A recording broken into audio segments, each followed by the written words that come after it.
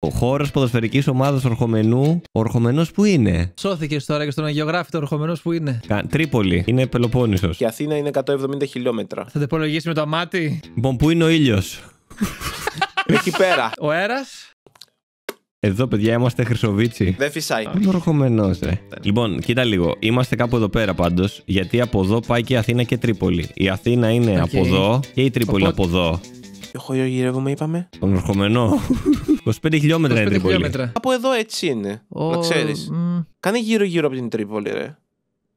Ε, όχι. Αμπελάκι. Μανάρες.